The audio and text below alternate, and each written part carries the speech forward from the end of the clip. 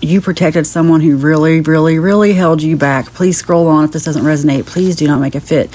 It's nice to have compassion. Look, right now, what's going through my head are a bunch of different people. I mean, going back to high school, I had compassion for the wrong people, and it got me in trouble because they actually believed some of the stuff I said to them. I'm just trying to be nice.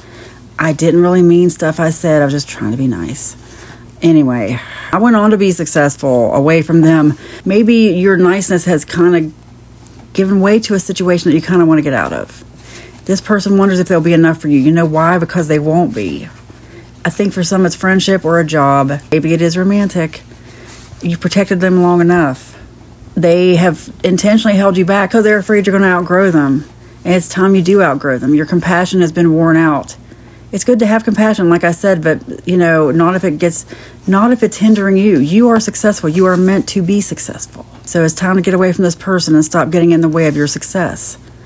Your naturally protective instinct may not be the, right thing right now.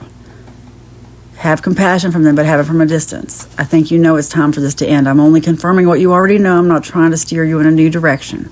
You already know this. You are successful, and you are going to go on to be successful without this person. It is spoken, it is written, and so it is. Amen.